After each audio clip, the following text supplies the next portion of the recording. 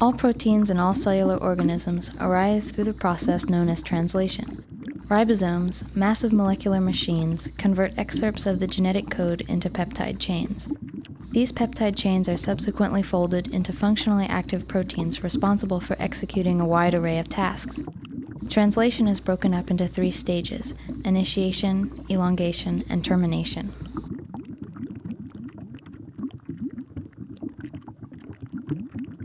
mRNA, or messenger RNA, is a strand of ribonucleic acid that carries genetic information gathered from a portion of an organism's DNA. This short message must be translated into a functional product, a folded polypeptide or protein, which is a sequence of amino acids. Each triplet of nucleotides on the mRNA, or codon, encodes for one amino acid.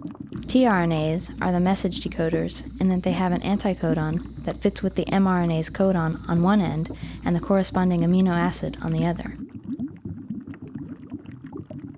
In order for protein synthesis to begin, the ribosome must be oriented with both the tRNA and the mRNA in the correct reading frame. Initiation factors 1 and 3 bind to the small ribosomal subunit, breaking apart the whole ribosome to allow the mRNA to enter. The opening of the ribosome exposes a certain sequence that attracts the mRNA. Initiation factor 2 binds GTP, allowing it to recruit the initiator tRNA. The hydrolysis of GTP bound to IF2 leads to the release of the initiation factors and the reassociation of the 50S with the 30S subunit. The result is a 70S initiation complex. The first step of elongation begins with the insertion of a charged tRNA into the empty A site on the ribosome, delivered by elongation factor TU. After the correct charged tRNA has been placed in the A site, the amino acid is transferred from the tRNA in the P site to the tRNA in the A site, catalyzed by the ribosome's RNA.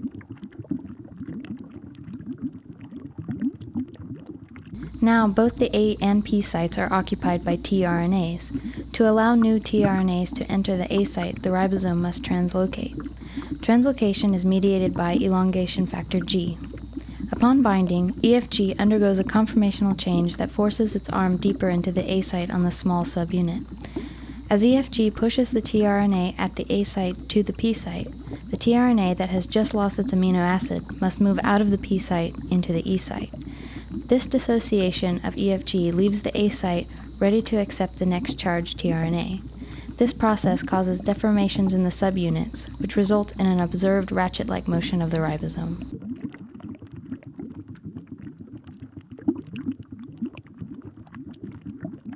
As the amino acid sequence or polypeptide grows with each elongation cycle, the nascent chain begins its descent out of the ribosome via a water filled channel in the large subunit, known as the exit tunnel. This structure provides passage through which a polypeptide chain can slide unhindered. The dimensions of the tunnel suggest that nascent proteins are largely unstructured as they pass through the ribosome. However, some regions of the peptide can form alpha helices before exiting the tunnel. The synthesis of most protein molecules takes between 20 seconds and several minutes. To further increase efficiency and speed of protein synthesis, multiple ribosomes may be initiated sequentially onto the mRNA strand being translated. As soon as the preceding ribosome has translated enough of the nucleotide sequence to move out of the way, another ribosome may be initiated on the mRNA. The collective structure of an mRNA and its attached ribosomes is called a polysome.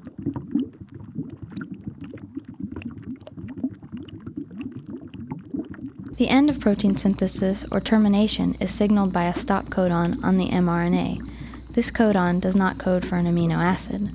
Rather, release factors 1 or 2, proteins that mimic tRNAs, recognize the stop codon and bind to the ribosome at the A site. These release factors fit into the ribosome like tRNA, but carry a water molecule in place of an amino acid. Disguised as a charged tRNA and assisted by the ribosome, the release factors induce breakage of the bond between the P site tRNA and its attached sequence of amino acids, releasing the newly synthesized polypeptide. As it leaves the ribosome, polypeptide must fold into its proper three dimensional structure in order to become a fully functional protein.